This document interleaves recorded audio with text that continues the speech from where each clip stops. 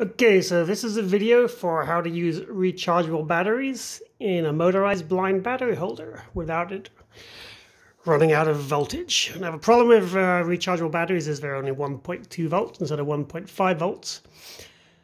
But if we add two extra batteries to the box, then we're going to have the same voltage with 12, with uh, 10 rechargeable batteries as we would with uh, 8 regular batteries.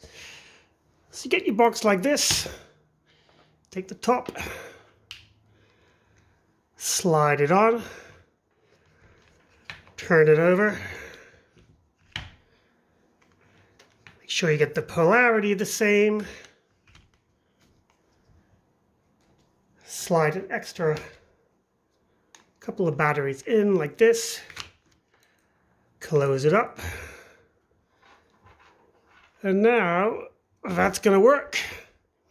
Now, if you want, you could tape, you could tape this so it doesn't slide. You want to make sure the uh, contacts here are pretty tight.